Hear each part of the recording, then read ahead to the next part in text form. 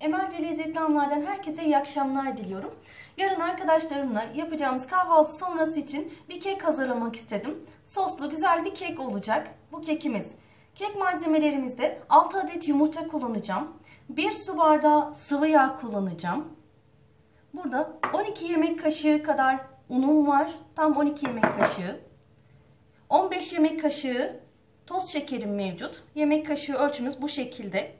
15 yemek kaşığı bu şekilde toz şeker ilave ettim. Kakao kullanacağım. Kakao yoğunluğumuza göre 2,5 kaşık ya da 2 kaşık buna göre her e, marka kakaonun yoğunluk oranı, koyuluk oranı farklı oluyor. Buna göre ilavemizi, kakao oranımızı ilavemizi yapacağız kekimiz için. Eğer videomu izliyorsanız lütfen kanalıma abone olmayı unutmayınız. Tüm tariflerimle birlikte sizlere evlerinize konuk olmak için Lütfen e, zil butonuna tıklamanızı rica ediyorum sizden. Görüşlerinizi, önerilerinizi, beğenilerinizi her zaman olduğu gibi bu tarif içinde bekliyor olacağım. Şimdi öncelikle kabımızın içerisine, çırpma kabımızın içerisine 6 adet yumurtamızı kırıyoruz. Biraz çırptıktan sonra 6 adet yumurtamızı içerisine şeker ilave edeceğim. Şeker ilavesiyle de biraz çırpacağım.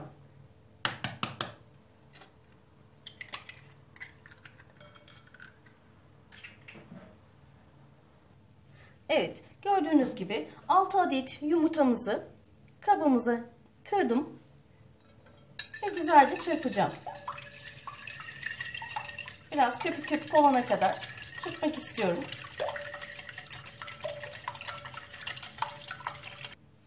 Evet yumurtalarımızı güzelce çırptım. Gördüğünüz gibi köpük köpük oldular. Şekerimi ilave ediyorum. Yavaş yavaş. Önce 3 yemek kaşığı kadar ilave ettim. Çırptıkça şeker ilavesinde bulunacağım. Toplam 15 yemek kaşığı şekerimiz vardı. Kekimizin malzemelerinde.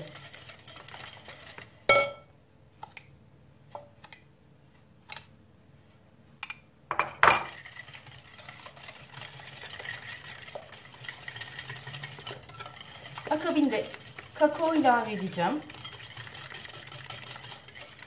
En sona un ve kabartma tozumu ekleyeceğim. Şimdi ben şeker ilavesiyle birlikte çırpmaya devam ediyorum.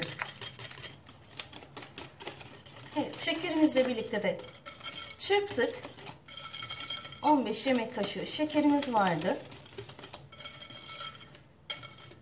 Sıvı yağımızı ilave edeceğim. 1 su bardağı sıvı yağ kullandım. Yavaş yavaş çırpıyorum. Öncelikle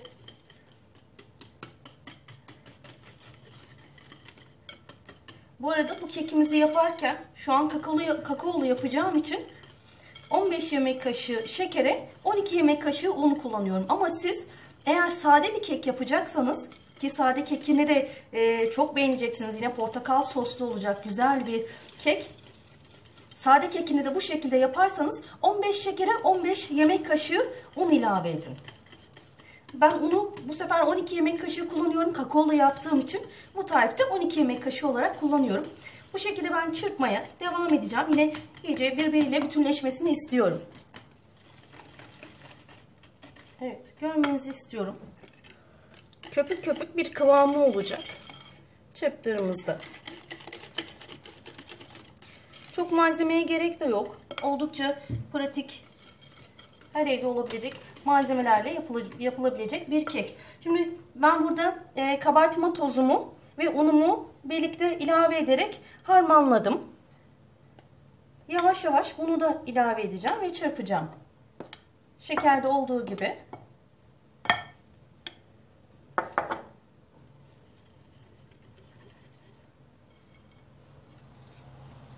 Kekimizi 175 derecede önceden ısıtılmış fırında kare borcamda bir 35 dakika kadar kontrollü bir şekilde her zaman olduğu gibi pişirmemiz yeterli olacaktır.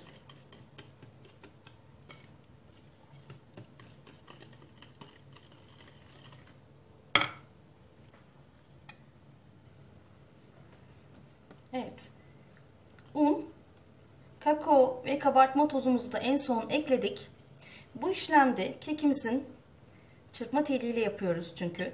En önemli olay kabarmasını istiyorsak, iyi bir kabarma, iyi bir sonuç istiyorsak yumurtamızı ön aşamada, ön işlemde iyice çırpmamız gerekiyor. Şekerle daha sonrasında gösterdiğim gibi köpük köpük olana kadar çırpmamız gerekiyor.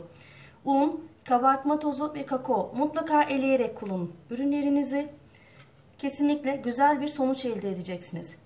Dediğim gibi ben kakaolu yaptığım için 15 yemek kaşığı şeker, 12 yemek kaşığı un kullandım. Sade olarak yapacaksanız eğer 15 e, yemek kaşığı şeker, 15 yemek kaşığı un kullanın tarifimizde. E, kakaomun benim yoğun bir kakaom olduğu için 2 yemek kaşığı e, benim için yeterli oldu. Siz aldığınız kakao markaya göre kakao yoğunluk oranınızı bu gördüğünüz gibi koyu olacak şekilde yapabilirsiniz. Ama çok da ilave etmeyin kakao. E, kek oranımızda oynamış oluruz bu sefer. Ve güzel hani yumuşak kek elde etmek isterken farklı bir sonuca ulaşabiliriz. Gördüğünüz gibi daha önce de bahsettim. Kare bir borcam kullanacağım. Borcamı öncelikle güzel bir yıkadım ve ardından her yerini sıvı yağla yağlayacağım.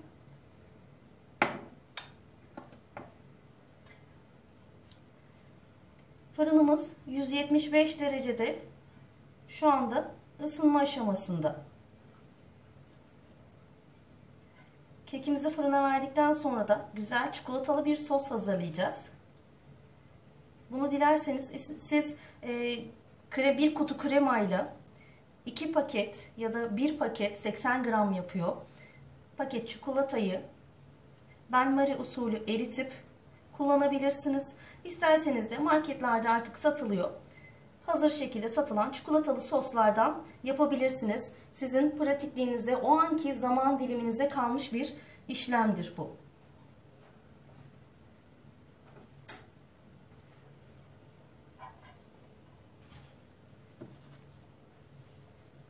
kalıbımı dökeceğim.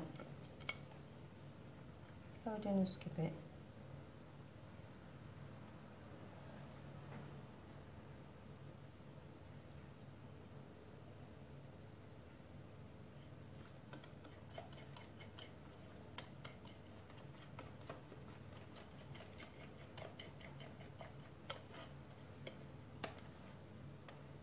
Üzerini piştikten sonra çikolatalı sostan önce portakal suyu ile ve süt ile ıslatacağım kekimi.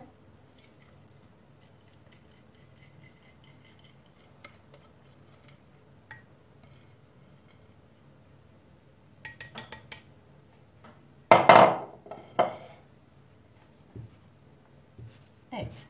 Kekimiz 175 derecelik önceden ısıtılmış fırına gitmeye hazırdır.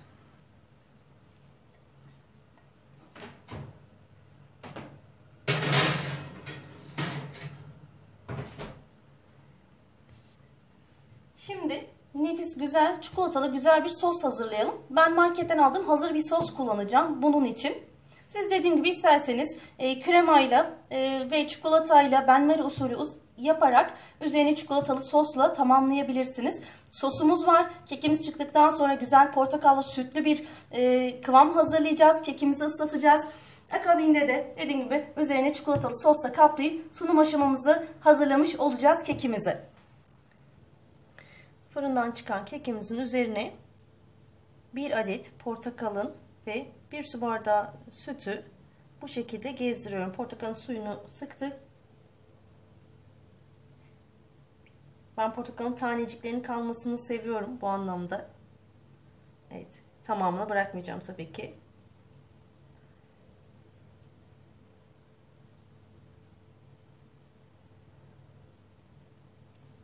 Kekimizi iyice ıslattık.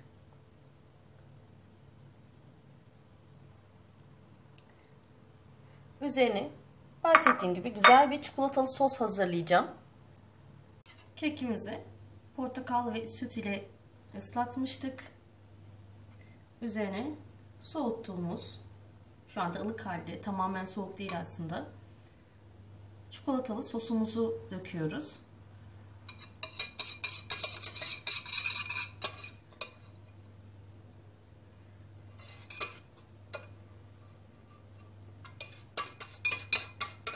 kekimiz hem pratik hem lezzetli. Sizi ve sevdiklerinizi tatmin edecek türde olacak.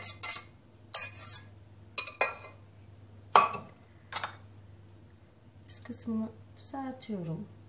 Düzgün bir zemin olmasını istiyorum.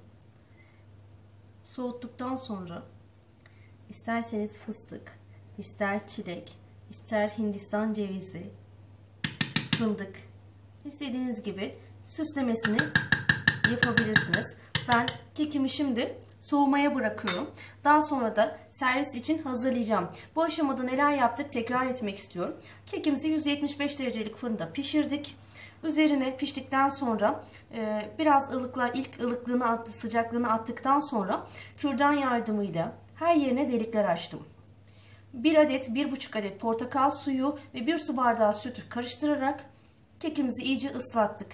Daha sonra iyice soğuduktan sonra bir çikolatalı sos hazırladık. Çikolata sosumuzu üzerine gezdirdik ve şu andaki son halimiz budur. Buzdolabıma kaldırarak soğumasını bekleyeceğim. Daha sonrasında üzerine fıstık, fındık, fıstık ya da hindistan cevizle süsleyerek sunumumu gerçekleştireceğim. Kekimiz hazırdır. Deneyen herkese şimdiden afiyet olsun. Yorumlarınızı, görüşlerinizi, önerilerinizi bekliyorum. Kanalıma abone olmayı unutmayınız. Sevgi ve lezzet dolu günler dileğiyle Emelce Lezzetli Anlar'dan herkese iyi akşamlar diliyorum.